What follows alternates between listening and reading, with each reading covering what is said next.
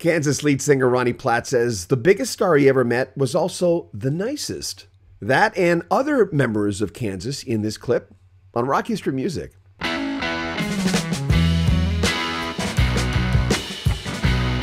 Let's look at Kansas and where are they now as far as the popularity of their music? Interestingly, sometimes when a song reaches number one in, say, 1975, and is clearly, in 75, their biggest song, it doesn't mean it'll be their biggest song in the present day. Standing the test of time, well, there's no guarantees. Was the song featured in a movie, on TV, the current zeitgeist? The biggest streaming platform is arguably Spotify. Let's look at where the songs from Kansas stand. At number 10, All I Wanted, which is from 1986, from the Power album, sitting pretty at 2 million hits. The Wall from Leftoverture in 1976, 6.1, Fight Fire with Fire from Drastic Measures, 1983.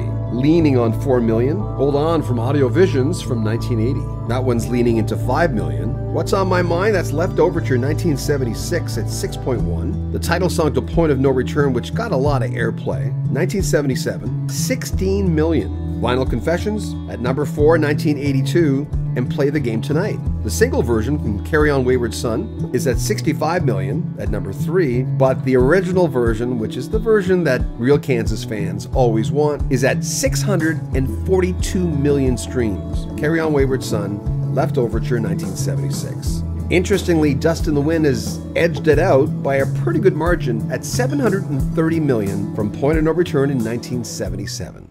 By the way, through the years, uh, it, it, it, who has surprised you? You've met a lot of people through what you've done. Uh, of the iconic rock stars that yeah, I've or met? anybody, or anybody that you, you know, it, it's so funny for me to. It, it, it's surreal because I've played so many bands' music through the years, you know, whereas, uh, you know, I played Styx, I played Boston, you, you know, uh, and, and, to meet these guys now, to, you know, we do a show with with Styx and Don Felder, and I'm sitting at the catering table across the table from JY and Tom, Tom, Tommy Shaw, you know, and I'm like, this is kind of surreal, you know. Uh, but I've I've never really been like starstruck until I'll admit, I was starstruck when we played one of the cruises and Roger Daltrey was on. You know, to me, that's the that upper echelon tier of just rock superstardom. And he couldn't have been nicer. And I, I mean, I, I didn't get to have a conversation with him. We actually just passed each other in a stairwell. I said, you know, and I was just so starstruck and like, Mr. Daltrey, how are you? And he's, oh, mate, you sound great. You know, he said something really nice to me. And it's like, I just passed Roger Daltrey. I just rubbed elbows with yeah. Roger Daltrey. Are you kidding me? Really? Yeah. I mean, I, I was really starstruck by by Roger, and he blew me away. I went to both his shows on the ship, and he was fantastic. Uh, James Ryan asked you, did you get a chance to talk to Brian May when you guys worked with Queen? Oh, all the time. Um, again, they were just getting started. Um, uh, their first yeah. tour in the United States was with Mott the Hoople, mm-hmm. but it didn't happen because somebody got got sick in Queen, got hepatitis. And so we got stuck on the bill with, with Mott the Hoople. And you didn't have media like you have today, where that news traveled extremely slow. So, first couple of weeks, of course, um, sheer heart, heart attack was starting to explode. But nobody knew that they weren't coming. And so we'd go out on stage, you know, ladies and gentlemen, Kansas. The crowd is instantly pissed off. And I, I, on my deathbed, I will hear people screaming, Queen! um, and that's where we, we learned a valuable thing about on stage is play loud and don't stop. in between songs, boom, next song, and just wear them down. But then the Queen comes over, their next tour, and we opened for them. And so we didn't have really, we hadn't really done much, and they hadn't, they were still broke. And so we all just kind of hung out. Um, just two bands trying to make it. Uh, Memories of Freddie? Uh, they were all great. Mm-hmm. Um, just great guys. Uh, yeah, we knew nothing about Freddie being gay or anything, and it really wouldn't have mattered anyway. But um, it was just a lot of fun. Roger Taylor uh, was not listed, but he sang uh, background on a couple of Kansas songs when we were working with John Elefante, uh, like uh, "Play the Game Tonight." The the the uh, choruses, the highest voice is Roger Taylor because um, we are all buddies, and he was in town. Um, John Deacon w- was a, a, very quiet guy, not so much him. Brian was just such a proper British gentleman, very nice guy, I- interesting. Freddie was a good guy. um, yeah, we are always a lot of times staying in the same hotel and traveling sort of together. I think the funniest thing I remember is every time we'd, we'd meet in a restaurant somewhere on the road, kind of traveling in tandem, and they always ate cheese and tomato sandwiches. uh, I don't know if they're afraid of American meat or they were vegetarians or what, but cheese and tomato. You know, four, please. um, really good guys. Um, an odd mix up. When I first saw that we were doing the tour, tour and sh- saw that uh, the album cover of them, you know, kind of in drag, I thought, oh my God, this isn't going to go well. And, you know, that was just my Midwestern, Midwestern fear and bigotry against anything that wasn't Midwestern, I guess. And they were just wonderful guys. The guys that uh, you looked up to uh, in the early days. Well, uh, for violin, uh, obviously Jean-Luc Ponty is like the the father or the grandfather of electric violin. Uh, Jerry Goodman had a huge influence on me because he didn't he played gritty. He didn't play perfect. He had this rock and roll kind of vibe to his playing that so many string players are obsessed with everything being perfect and kind of sterile in my opinion. He just had this wild abandon that spoke to me and I hadn't heard anyone play that way. When I heard him with Mahavishnu, uh, Sugarcane Harris, who played with Zappa in the 60s, just the bluesiest, grittiest violin playing. Um, and I, I, was influenced by a lot of guitar players because I play guitar too. Mm-hmm. In Kansas, I, I play guitar as well. Like Steve Vai, Nuno Bettencourt, obviously Eddie Van Halen, Jimi Hendrix, Jimmy Page. I think they all influenced my violin playing as much as my guitar playing. What musician surprised you more? And that can mean anything you want. Well, uh, I would say, you know, meeting uh, Mick Jagger and Keith Richards was a shock because, well, we're uh, in the summer of '68. I mean '78. We did two shows with the Rolling Stones. Uh, one was in Cleveland at the baseball stadium, baseball football stadium, before they tore it down, and that was cool. But then we played in Boulder, Colorado, a month or so later, and that was in the football stadium. Not, I don't know how many people you could fit between the stadium and the entire football field, hundred some thousand people. And we're in our dressing room. It's probably I don't afternoonish, four maybe, and just getting dressed and warmed up and stuff. And I'm standing there, cut up playing, noodling and stuff, and you hear also hear this roar uh, I look out, they had built this kind of a tent city, you know, on the uh, grass of the football field. And I looked out through the screen, and here comes this entourage of limo. I'm sure each one came in their own limo, and everybody's screaming. I thought, okay, well, here comes the Stones. And just all of a sudden, our, the tent door opens, and Mick and Keith just walk in. And they're looking, hello, gents. Glad you're on the show. Love your band. Uh, if there's anything you need, you know, just let us know. Again, we are welcome to our show. Um, I said nothing. I stood there slack jawed, and words would not come out.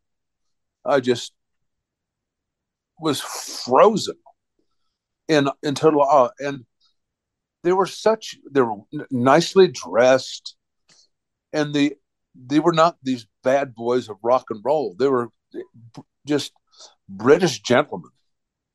And I just didn't know how to handle any of that. It was such a shock. Was that the moment? Was there another moment or was that it? That was it? Yeah, it was just meeting these two guys. Well, then I, you know, I got to stand on stage. I could reach out and touch the, the piano player's back. I was so close. Taking pictures from the side of the stage. Jerry Hall is shoulder to shoulder with me on the side of the stage. It's like, yeah, th- this is a strange day. Surreal, huh? Yeah, it was. Um, and I, I hate to say this, and if Jerry Hall hears this, I, I'm sorry. I don't mean to be offensive. She was gorgeous, and she, you know, like six foot one, Texas-born blonde model. But she had the biggest feet I've ever seen. They were skinny and long, like a, a six foot elf's feet in these weird looking shoes. And I, I kept wanting to take a picture of her feet.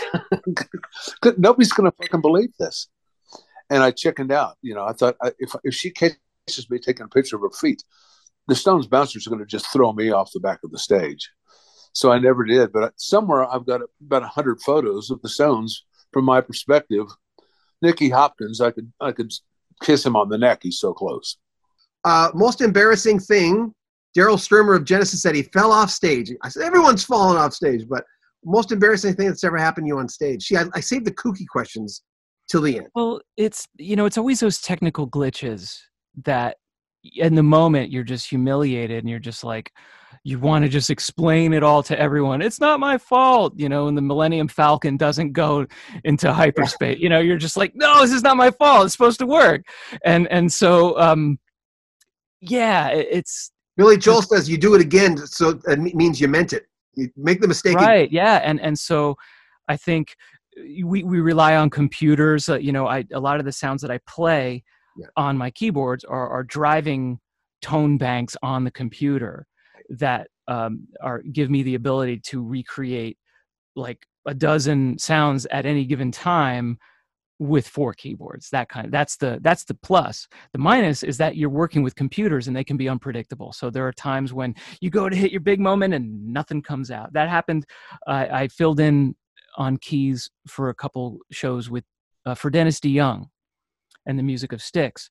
And sometimes the, I have a lot of work to do because he wants to just go out and, and sing lead on a song and not worry so much about the keyboard. So there's plenty to do, even with Dennis on keys and certain sound effects like intros to Mr. Roboto or something. There, somebody tripped the power between the sound check and the show and erased the bank or something. And I went to hit the the intro and and I'm and nothing is happening and Dennis is looking back at me like oh are you are you not doing this right? or something and, and i'm like pointing to my finger playing the keys that are supposed to trigger the sound oh and i'm like it's not happening.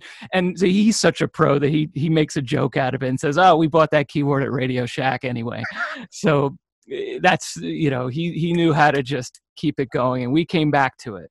So it th- those technical glitches really make you sweat but sometimes it, it, there's nothing you can do except just to say, hey, look, this is technology. Sometimes there are technical difficulties, and please stand by. Outside of Phil, who who was it in the band that you had uh, uh, a camaraderie with? Like, that you? Uh... uh... me and Dave Hope, we were. You know, Kerry was the kind of the the writer standing on the other side of the room, contemplating life. Um, Robbie was standing on the other side of the street, being quintessentially Robbie, unashamedly so at all times. Uh, never was all in, although he was all in. But he was he was always the contrarian, I would say. Me and Dave were the the nuts, balls, and pecker of this band. We were the rude, crude, did not care. I mean, somebody came comes up with a song, and we didn't like the lyric, we just started making fun of it. Uh, Dave Hope was one of the the funniest, most crude, gross guys of I've ever met. We laughed and laughed and laughed. There was nothing. Thank God there was no political correctness back then because we were a zillion miles from it. Um, we all were. Yeah, it, eh, but I mean, my God, did we la- all laugh? And and me and Dave and Phil together. Um, I'm surprised la- the laughter didn't kill us sometimes. but that, that those things were necessary. Those, you know, Steve was from another area, you know, St. Joe, Missouri, which at the time might as well have been China. You know, the the world was a lot. Towns were further apart then, and the worlds were smaller. Um, and he was a bit more moody. But the the three of us, I mean, we, we played in a band in 1969, 1970 in the French Quarter of New Orleans. We lived there and played a house band in a place called the Roach. Um, we uh, we delivered Jerry Garcia to his hotel on Bourbon Street after they'd played at the warehouse. We took him back to the hotel he walked in the door and got busted. Thus the song Truckin'. Busted on Bourbon Street. I let I was the guy that let him off at the door. um, we have so many stories before Kansas. Me and Dave Hope played in several bands to, together, all in matching suits, you know, playing the Young Rascals. Um, we we have lifetimes of stories again, even before Kansas was a thought. Remember, you can get early access to all our videos if you join our Patreon. If you want to make a donation to the channel, there's a link in the description. And buy swag, buy a t-shirt, a cap, T-tops, a lot of different things, even rock history music coats at our swag store, link in the description. Make sure you comment on our videos, subscribe to our channel, like our videos, and of course share them on social media. I'm John Beaudin. This is Rock History Music.